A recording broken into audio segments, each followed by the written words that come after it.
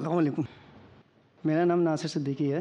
میں business man ہوں۔ میرا سوال ہے کہ ابراہیم علیہ السلام جو تین مقام پر جو بات بولے ہیں، وہ جھوٹ ہے یہ صحیح کیا؟ ہے بھائی نے سوال کیا کہ ابراہیم علیہ السلاۃ والسلام کے بارے میں آتا ہے ایک حدیث کے اندر اور جملہ استعمال کیا گیا کہ انہوں نے جھوٹ بولا۔ تو اس کا مطلب کیا ہے؟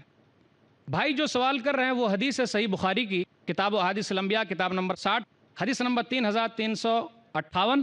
لم یکذب ابراہیم علیہ السلاۃ والسلام اللہ ثلاث کذبات، کہ ابراہیم علیہ السلاۃ والسلام نے تین جگہ پہ جھوٹ بولا۔ دو جگہیں ایسی ہے جہاں اللہ کے لیے اور ایک جگہ اپنے لیے۔ آخر اس کا معنی کیا ہے؟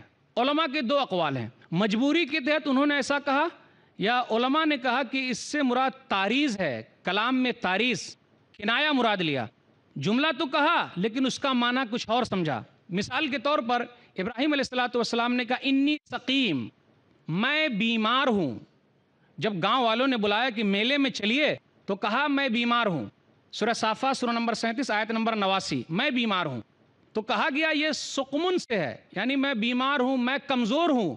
تم جو کام کر رہے ہو، میں اس کام سے بیمار ہوں۔ مجھ کو یہ اچھی چیز نہیں لگتی ہے۔ اور سامنے والے نے یہ سمجھا کہ یہ واقعی بیمار ہے اس لیے نہیں جا رہے ہیں۔ دوسرا جھوٹ جس کو لفظاً جھوٹ کہا گیا لیکن یہ تاریخ میں سے ہے، علماء نے کہا۔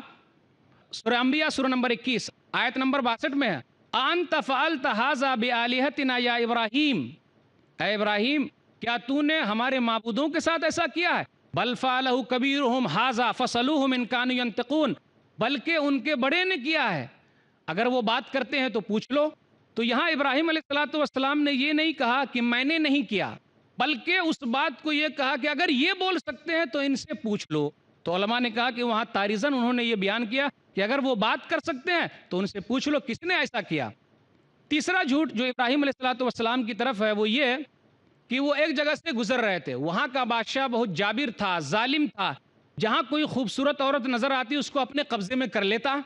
ابراہیم علیہ السلاۃ والسلام کے ساتھ سارا ان کی بیوی تھی، وہ بھی ساتھ میں تھی، خوبصورت عورت تھی۔ تو بادشاہ نے ان سے پوچھا، کون ہے یہ؟ تو کہا، میری یہ بہن ہے. جبکہ وہ بیوی تھی۔ تو یہ کیا؟ اس کا مطلب کیا ہو سکتا ہے؟ تو علماء نے کہا کہ تمام بہنیں جو ہیں وہ آدم اور ہوا سے ہیں، عورت آدم و ہوا سے ہیں، یہ اسلامی بہنیں ہیں۔ پھر اسی طرح انسانی بہن ہے، تو وہاں مراد یہ لیا کہ بہن ہے، اس سے مراد ہے یہ انسانی بہن ہے، اسلامی بہن ہے۔ اور ایک حدیث کے اندر تو واضح آ گیا، صحیح مسلم میں کتاب الفضائل، کتاب نمبر تینتالیس، حدیث نمبر دو ہزار تین سو اکہتر۔ فعن کی اختیف الاسلام اے سارا، تو میری اسلامی بہن ہے۔ تو وہاں علماء نے اس طریقے سے بتلایا ہے اور واضح کیا ہے کہ یہ جھوٹ نہیں ہے، بلکہ یہ تاریخ میں سے ہے۔ واللہ عالم بالصواب۔